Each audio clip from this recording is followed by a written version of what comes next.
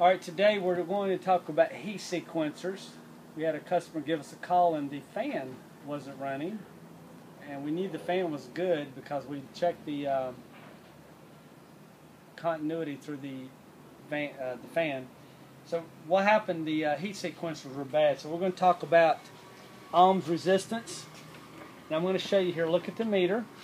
We got it on ohms. Now this is the bad heat sequencer and this has got 102.4 ohms. Okay, that's a very high resistance. What they're supposed to be, when you know they're good, I put a double stack. See how these are double stacks? Same thing. Three points. Okay. Now look at the meter for this one.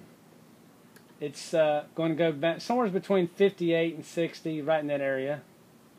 So 58 to 60 is the ideal resistance reading of a sequencer.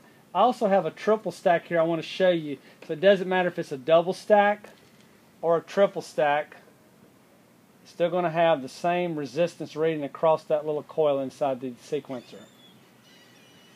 So if you have any questions about heat sequencers, heat strips, give us a call at Jones Air Conditioning and Electrical 239 596 5855.